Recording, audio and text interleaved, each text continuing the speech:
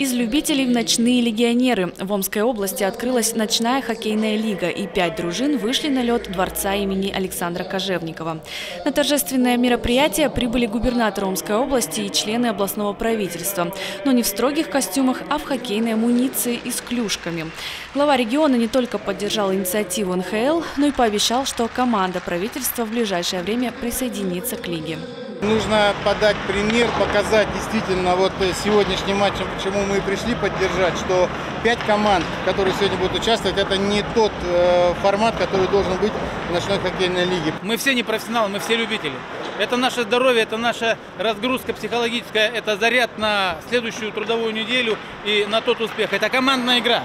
И в этой командной игре формируется в том числе э, единый дух После открытия количество команд увеличится в геометрической прогрессии, уверены вип-гости. А пока задавать темп ночной лиги будут пять дружин, две из которых открыли сезон гала-матчем. За игрой «Титана» и «Проспекта» наблюдали полные трибуны, а почетный гость Александр Кожевников убежден, любительский хоккей смотреть интереснее, чем профессиональный.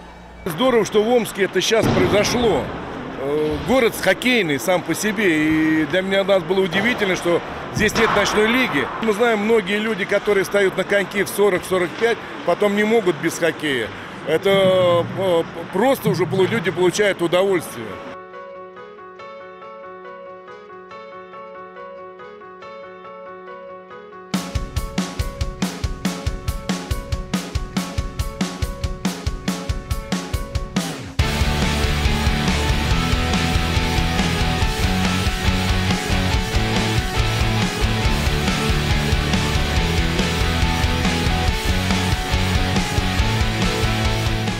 В российской ночной хоккейной лиге принимает участие 712 команд. И в конце сезона самые мастеровитые отправятся на финал в Сочи. Омская область представлена в дивизионе 40+, самой престижной категории НХЛ, где разыгрывается главный трофей лиги – Кубок Крутого.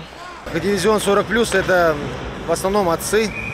У отцов всегда есть дети, а уже у этих детей еще сестры и братья. И Поэтому вся цепочка семейная идет именно в хоккей.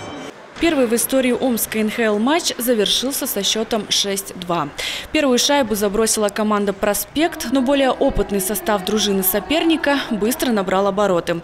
В итоге «Титан» завладел игровым преимуществом, заполучив первую в истории лиги победу и кубок. Сегодня очень принципиальная игра была. День открытия, э, матч очень сильный. Соперник подготовлен очень серьезно. И играть с ним, как мы уже один раз с ними сыграли, было, конечно, но сейчас два раза тут тяжелее играть. Они подкатались, и настрой у них был матч-реванш.